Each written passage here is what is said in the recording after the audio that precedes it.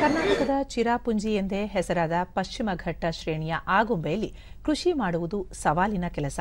ನಿರಂತರ ಮಳೆ, ಕಾರ್ಮಿಕರ ಕೊರತೆಯ ನಡುವೆಯೂ ಇಲ್ಲಿನ ಗುಡ್ಡೇಕೆರೆ ಸಾವಿತ್ರಿ ಮನೆ ಪ್ರದೇಶದ ರೈತರೊಬ್ಬರು ಆಧುನಿಕ ಬೇಸಾಯ ಪದ್ಧತಿಯ ಮೂಲಕ ಉತ್ತಮ ಆದಾಯ ಪಡೆಯುತ್ತಿದ್ದು ಮಾದರಿ ರೈತ ಎನಿಸಿಕೊಂಡಿದ್ದಾರೆ. ಬಿಎಸ್ಸಿ ಪದವೀಧರರಾಗಿರುವ ನಾಗಭೂಷಣ್ ತನ್ನ ನಾಲ್ಕೈದು ಎಕರೆ ಜಮೀನಿನಲ್ಲಿ ಅಡಿಕೆ, ಬಾಳೆ, ಏಲಕ್ಕಿ ಜೊತೆಗೆ ಜೇನು ಕೃಷಿ ಹೈನುಗಾರಿಕೆ ಮಾಡುವುದರ ಮೂಲಕ ಸ್ವಾವಲಂಬಿ ಬದುಕು ಸಾಗಿಸುತ್ತಿದ್ದಾರೆ.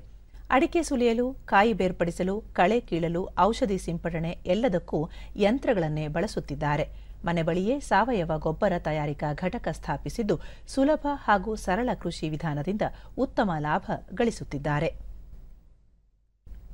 ಡಿಡಿ ನ್ಯೂಸ್ನೊಂದಿಗೆ ಕೃಷಿಕ ನಾಗಭೂಷಣ್. ಕೇಂದ್ರ ಹಾಗೂ ರಾಜ್ಯ ಸರ್ಕಾರದ ಯೋಜನೆಗಳನ್ನು ಬಳಸಿಕೊಂಡು ಕಾರ್ಮಿಕರಿಲ್ಲದೆ ಯಂತ್ರಗಳ ಮೂಲಕ ವ್ಯವಸ್ಥಿತವಾಗಿ ಕೃಷಿ ಮಾಡುತ್ತಿರುವುದಾಗಿ ತಿಳಿಸಿದರು. ಇಡೀ ಕೃಷಿನ ಮೆಕನೈಸೇಷನ್ ಮಾಡಿದ್ದೀವಿ. ಮೆಕನೈಸೇಷನ್ ಅಲ್ಲಿ ಏನು ಮಾಡಿದ್ದೀವಿ ಅಂತ ಹೇಳಿದ್ರೆ ಏನೇನು ವಸ್ತುಗಳು ಬೇಕೋ, ಏನೇನು ಮಿಷನರಿ ಬೇಕೋ, ಸ, ಇದು ಹಾರ್ಟಿಕಲ್ಚರ್ ಮಿಷನಿಂದ ತಗೊಂಡಿದ್ದೀವಿ. ಅದರಿಂದ ಸಹಾಯಧನವನ್ನು ತಗೊಂಡು ಮಾಡಿದ್ದೀವಿ.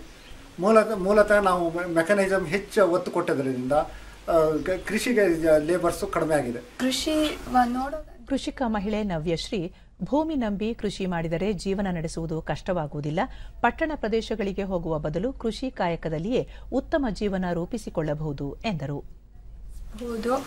ನಾವು ಪೇಟೆ ಬದಿ ಹೋಗಿ ಕೆಲಸ ಮಾಡೋಕ್ಕಿಂತ ಇಲ್ಲಿ ನಾವಿಲ್ಲಿ ಎಷ್ಟು ಹಾಕ್ತೀವೋ ಅದ್ರ ಡಬ್ಬಲ್ ನಾವು ಸಂಪಾದನೆ ಮಾಡ್ಬೋದು. ಅದಕ್ಕೆ ಎಲ್ಲ ಕೃಷಿ ಮಾಡ್ತಾರೆ. ಇವತ್ತು ನಮ್ಮ ಜನರೇಷನ್ ಗ್ರಾಮ ಪಂಚಾಯಿತಿ ಸದಸ್ಯ ಶಶಾಂಕ್ ಹೆಗಡೆ ಹೊಸ ಹೊಸ ಆವಿಷ್ಕಾರದ ಮೂಲಕ ನಾಗಭೂಷಣ್ ಕೃಷಿಯಲ್ಲಿ ಸ್ವಾವಲಂಬನೆ ಬದುಕು ಕಂಡುಕೊಂಡಿರುವುದು ಸಂತಸ ತಂದಿದೆ ಎಂದರು.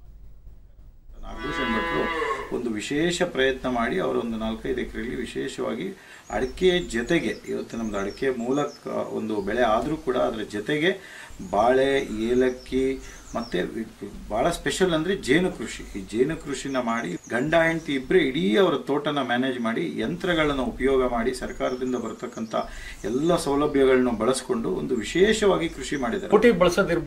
ಕೃಷಿಕ ಶೇಷಪ್ಪ ಗೌಡ ಕಾರ್ಮಿಕರಿಲ್ಲದೆ ಯಂತ್ರಗಳ ನೆರವಿನಿಂದ ವ್ಯವಸ್ಥಿತವಾಗಿ ಕೃಷಿ ಮಾಡುತ್ತಿರುವ ನಾಗಭೂಷಣ್ ಇತರ ರೈತರಿಗೆ ಮಾದರಿಯಾಗಿದ್ದಾರೆ ಎಂದು ಶ್ಲಾಘಿಸಿದರು. ಸ್ವಾವಲಂಬಿ ಕೃಷಿಕ ಏನೇನು ಮೆಕನೈಸೇಷನ್ ಮಾಡ್ಕೊಂಡು ತನ್ನ ಅಭಿವೃದ್ಧಿಗೆ ಸಾಕಷ್ಟು ಏನು ಲೇಬರನ್ನ ಉಳಿಸ್ಬಿಟ್ಟು ಅದರಲ್ಲಿ ಸಾಕಷ್ಟು ಉಳಿತಾಯ ಮಾಡಿ ಬೇರೆಯವರಿಗೆ ಮಾದರಿಯಾಗಿ, ಬೇರೆಯವರಿಗೂ ಅವಶ್ಯಕತೆ ಬಿದ್ದಲ್ಲಿ ಸಹಕಾರಗಳನ್ನ ಕೊಡ್ತಾ, ಸಲಹೆಗಳನ್ನು ಕೊಡ್ತಾ ಗ್ರಾಮ ಮಟ್ಟದಲ್ಲಿ ಒಳ್ಳೆ ರೀತಿಯಲ್ಲಿ ಒಂದು ಕೃಷಿನ ಅವಲಂಬಿಸ್ಕೊಂಡು ಜೀವನ ಮಾಡ್ತಾ